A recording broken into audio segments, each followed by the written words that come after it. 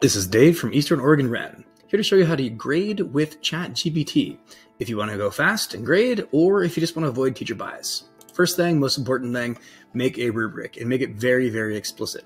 And begin it with this instructions. Grade the essay in parentheses using the rubric that follows. Any areas graded less than proficient, please provide specific feedback by using the examples from the text. And here I will show you why.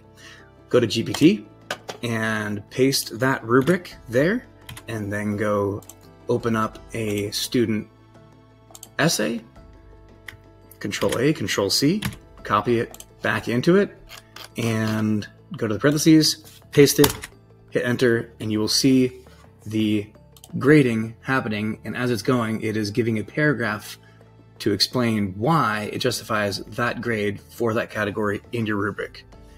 Be sure to check out Eastern Oregon REN on social.